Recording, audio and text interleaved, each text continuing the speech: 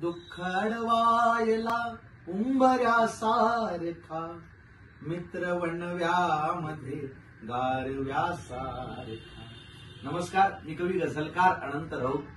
आज खर तर फिरत फिरत या खेडमध्ये आलेलो आहे.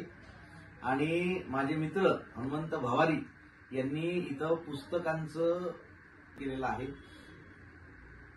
माझी मैत्रीची कविता महाराष्ट्रभर सगळ्यांना माहिती आहे.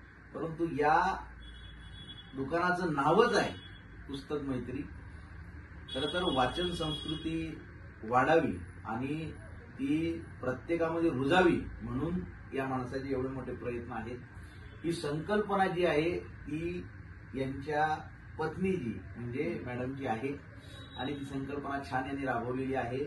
खरं तर वाचन किंवा पुस्तकं समाजामध्ये किती महत्त्वाचे आहेत तर मी एका ठिकाणी लिहिलं होतं की वणवा तसाच आहे. पाऊस सरून गेला विस्तव विझेल कैसा आतून पेटलेला होता विकास आधी जो दास बंगल्यांचा कित्येक पुस्तकांनी तो झोपडीत नेला. खर तर जो विकास बंगल्यांचा दास होता बंगल्यातलीच लोक श्रीमंत व्हायची. आता खेड्यापाड्यातली लोक अभ्यास करून पुस्तक वाचून श्रीमंत व्हायला लागलेली आहेत सुशिक्षित व्हायला लागलेली आहेत.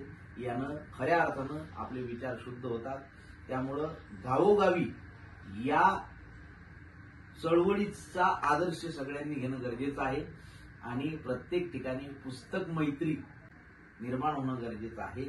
त्यामुळं मनपूर्वक तुम्हाला यासाठी धन्यवाद आणि शुभेच्छा. युवलेशे रोप लाविले द्वारी तिचा वेणू गेला गगनावरी.